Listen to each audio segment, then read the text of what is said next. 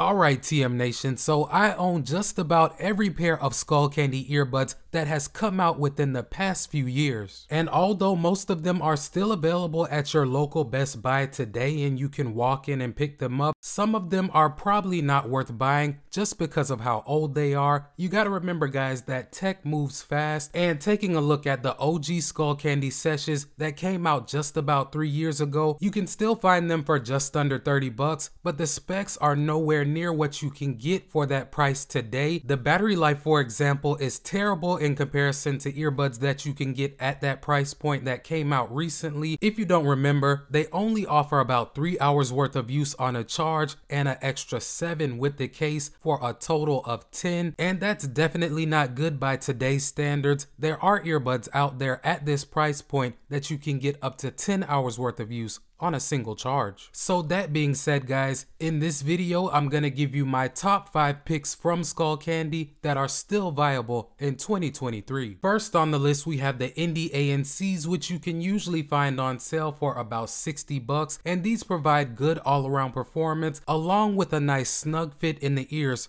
for me personally. These are on the list because they bring all of the goodness that we know and love from the Indy lineup with the addition of active noise cancellation. And in terms of the ANC performance, I am happy to note that it is respectable. Now it is not top tier like your Bose and Sony earbuds, but these will do just fine for someone looking to use them for public transit or to reduce general ambient noise. And the audio quality is what you would expect from a mid to upper tier pair of Skullcandy earbuds. The focus is definitely on the bass and the mids, but they also provide a decent amount of clarity with the highs as well. Besides that, they do provide wireless charging with the case and they are compatible with the older Skullcandy app that does allow you to adjust your EQs and things of that nature, but it does not have the newer Skull IQ functionality, which I will show you guys a little bit later. Now, I will say that the battery life with them is not excellent when you're using ANC. With it on, you can get up to 5 hours of use on a charge, but if you turn it off, you can almost double that and get up to 9. But like I said, guys, if you're familiar with Skullcandy's sound signature, these won't surprise you, but I do think that they sound better than average and they should be more than adequate for most people. Next on the list, we have the Push Active earbuds, which are a really good choice if you're looking for a solid pair of exercise earbuds. These usually are on sale for 60 bucks as well, and although they don't feature ANC, the battery life is really good at up to 10 hours on a charge. They're IP55 dust and water resistant, and they're also compatible with the Skull IQ functionality, which is an added voice assistant outside of Bixby and Siri, for example, that will allow you to execute many different functions directly from the earbuds without touching your device. Hey Skullcandy, volume up. Hey Skullcandy, volume down. Hey Skullcandy, pause.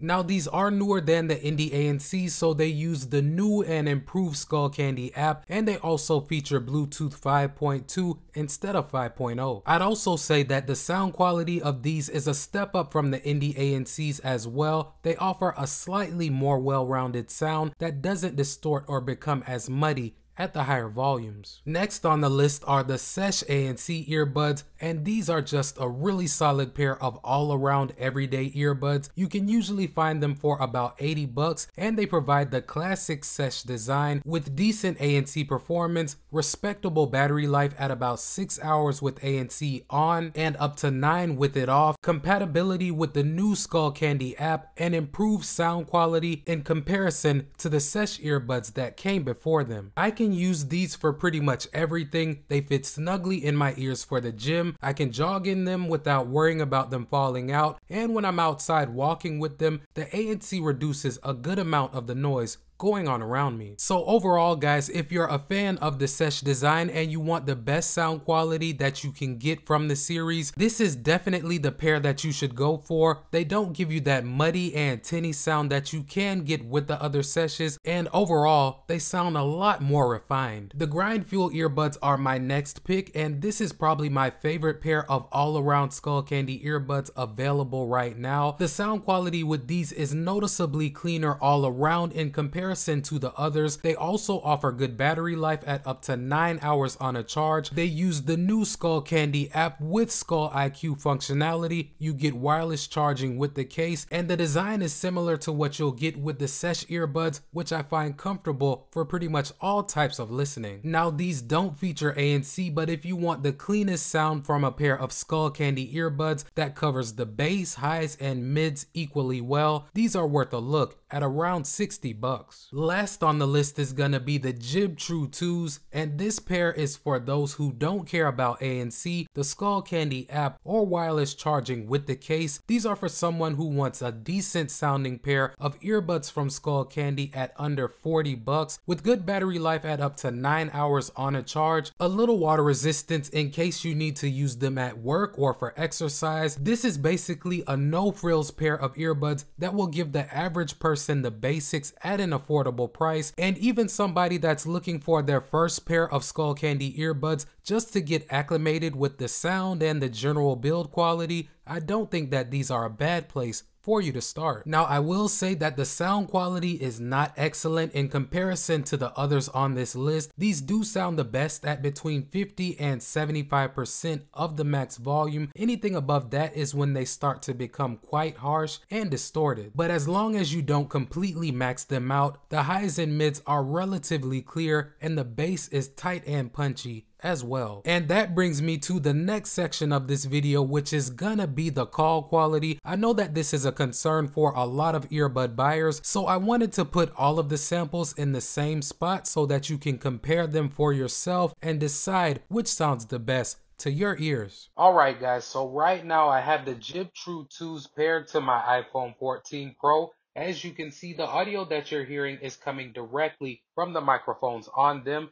and I'm not going to do any type of editing to this sample, so this should give you a pretty good idea of how they perform in a relatively quiet room. And now I have some simulated background noise playing in the background. This part of the test is aimed at seeing how well these microphones will focus on my speech while rejecting some of that noise. And now I have the Sesh ANCs paired to my iPhone 14 Pro. Everything else about this test is exactly the same, so this should give you a good idea of how these perform. And now I have the simulated background noise playing in the background, so this should give you a pretty good idea of how these will focus on your speech while rejecting some of your ambient noise. Now I have the Indy ANCs paired to my iPhone 14 Pro. Everything else, like I said, is exactly the same. Not going to do any type of editing to this sample, so this should let you know how these perform in terms of call quality. Now I have the simulated background noise playing in the background. It is going to stay at the same level throughout all of these tests. So this should give you a pretty good idea of how well these will focus on your speech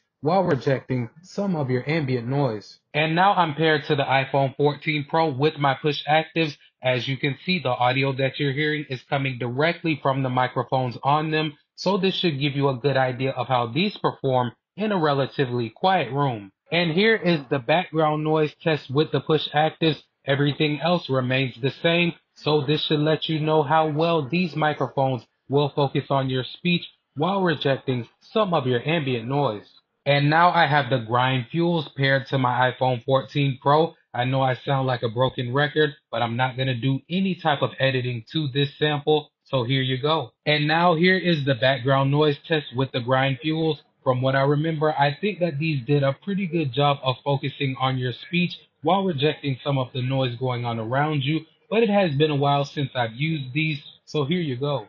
With all of that being said, guys, there are obviously other Skullcandy earbuds out there that did not make this list, but as I mentioned earlier, I have videos on pretty much all of them, so you can check those out if you want to know more about a specific pair. In this video, I tried to rate them based on their usual price, the features offered, and their overall performance, but feel free to let me know in the comments section if I left a pair off this list that you think should have been included, or if you own a pair or multiple pairs that did make the list, let me know what you think about their performance. Before you get on out of here, if you rock with the channel and your boy Techmo, hit that subscribe button and knock that notification bell out so you won't miss any of my uploads.